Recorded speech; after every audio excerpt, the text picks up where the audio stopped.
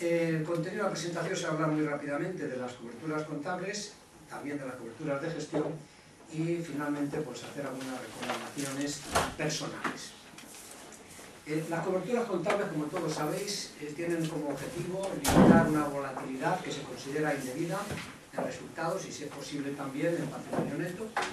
Esta, esta limitación de la volatilidad se hace a través de una contabilidad especial, quiere decir, una contabilización especial que operaciones que si no formasen parte de una cobertura se contabilizarían de una manera, se contabilizan de una forma distinta cuando forman parte de una cobertura. Eso es lo que consiste la cobertura contable. Los requisitos de una cobertura contable es que tiene que haber una partida cubierta, que esté en balance o que sea altamente probable, sujeta a, variaciones de valor razonable de flujos de caja, que exista otra partida de cobertura, generalmente un derivado, con efectividad compensatoria y que además se documente y se declare la cobertura. Como diré después, aunque exista una cobertura contable, si no se declara, no se contabiliza. Las limitaciones técnicas que, a mi modo de ver, tienen las coberturas contables son varias pero por lo menos yo querría destacar, tres. Por un lado, la posible redundancia. Quiere decir, en la normativa actual de coberturas se ha abandonado una de las eh, reglas que establecía el antiguo FAS 80, que era, realmente se ha quedado anticuado, pero que también tenía sus méritos, no se trataba todavía de valor razonable, pero hacía un buen análisis de las operaciones de futuro solo.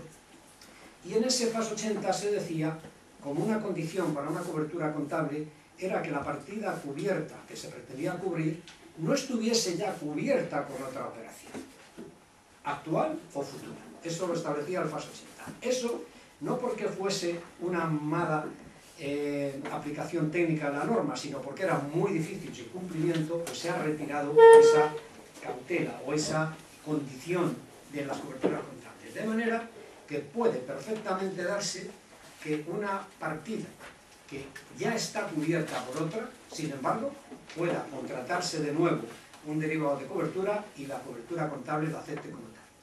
En esto, eh, hace poco tuve ocasión de ver algunos ejemplos magníficos que presentó en IFAES Francisco de Asís. Eh, efectivamente, puede darse el caso, o sea, la cobertura contable eh, puede ser redundante y no hay ningún elemento dentro de las la norma contable que impida esa redundancia al desaparecer la condición que tenía el FAS 80. Por otro lado, tiene otra limitación que es la discrecionalidad. Yo puedo eh, eh, contratar una operación que cumple todos los requisitos de cobertura contable, pero si no la declaro, no la contabilizo como tal. Lo que quiere decir que hay un elemento de discrecionalidad perfectamente, una vez que, contrato una operación que cumple todos los requisitos para ser contabilizada como de cobertura, todavía queda mi voluntad. Si la declaro y la documento, la contabilizaré como cobertura, si no la declaro y no la documento, la contabilizaré de forma normal. Y finalmente hay otra limitación que es la imprecisión, también estas son opiniones personales, y que a veces se dice que es una cobertura cosas que realmente son una apuesta. No es lo mismo simplemente apostar porque un activo va a subir o bajar de valor, con, por ejemplo, cubrir o asegurar un margen. Son operaciones distintas. La primera, para mí, es una apuesta y el cubrir un margen sería una cobertura genuina. Con esto simplemente quiero decir que ya en una primera aproximación podemos justificar que una cobertura contable no tiene por qué coincidir con que sea una cobertura desde el punto de vista de gestión o también denominada cobertura económica. Esto lamentablemente es así podría a lo mejor gustarnos que fuese de otra manera, pero no es así. Quiere decir que si yo hago una operación que cumple los requisitos para, hacer, para ser una cobertura contable, no puedo presentarla en mi empresa asegurando que al ser una cobertura contable va a ser una cobertura de gestión. Puedo estar engañando a mis jefes. De manera que tengo que justificar también que lo es desde el punto de vista de gestión. En las coberturas de gestión de riesgos, pues tenemos eh, riesgos físicos, operacionales, reputacionales, esta mañana se está hablando de ellos, y entrando en los financieros, pues fundamentalmente el riesgo de mercado, el riesgo de que varíen las cotizaciones o los precios, el riesgo de crédito, que alguien nos deje de pagar, el riesgo de liquidez, que no podamos atender las obligaciones por falta de liquidez. Eh, dentro de ese panorama general, podemos ya hablar de tácticas de la gestión de riesgo financiero. Lo lógico en una empresa que quiere llevar una política de gestión de riesgo financiero razonable es que se realice una evaluación global de ese riesgo en la empresa. Lógicamente, si una empresa tiene eh, riesgo a dólares en el activo y tiene riesgos a dólares en el pasivo, no debe tratarlo de forma diferente, debe hacer un esquema más o menos neto por, eh, eh, por vencimientos para ver realmente cuál es su sensibilidad a, las variaciones del dólar.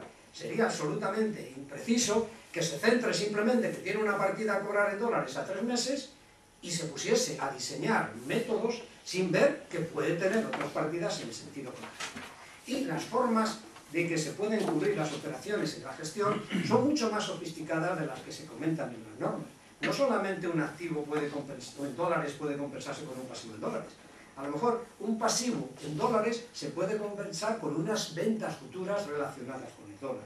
La forma en que se pueden relacionar en una empresa en los riesgos de variación de precios de una commodity o de unas acciones o de un tipo de interés o de una moneda son verdaderamente complejos. De manera que, como mínimo, una evaluación global del riesgo a una determinada modificación de precios tiene que tener en cuenta las partidas ya cubiertas, para saber que esas, si las cubro, estoy haciendo una redundancia, y también sería muy interesante hacer el cálculo de sensibilidad a cambio de precios. Hacer unos modelos en los que realmente si la empresa quiere saber qué pasa si el dólar sube, que tenga en consideración todas sus operaciones actuales, tanto en el activo como en el pasivo, como en las operaciones aseguradas futuras, las transacciones futuras. Y de ese modelo de sensibilidad sí que podrá llegar a la conclusión de qué efecto tiene cada 1% que suba el dólar, qué le va a pasar a la empresa, y cada 1% que baje el dólar, qué le va a pasar a la empresa. Eh, el hacer unas identificaciones individuales puede llevar a decisiones incorrectas. Después, cuando la empresa lo que decide es, que tiene ya incluso una partida neta y tiene una, eh, una exposición a un cambio de precio eh, de una partida, todavía le quedan distintos métodos o tácticas para gestionar ese riesgo esa variación del precio. Puede optar por mantenerse spot, quiere decir que no contrata ningún derivado, puede optar por contratar un forward, lo que quiere decir que se asegura un precio basado en los precios de hoy, en lugar de esperar al precio spot que tendrá en el futuro, tiene la posibilidad de contratar una opción, en cuyo caso, a cambio de un gasto conocido, o una prima determinada, garantizarse que cualquier evolución de precios futuros no le va a perjudicar, porque la opción la ejercitará o no. Y hay otra eh, táctica que se dice poco, porque comercialmente no es la ideal para los intermediarios financieros, y es la opción 50-50.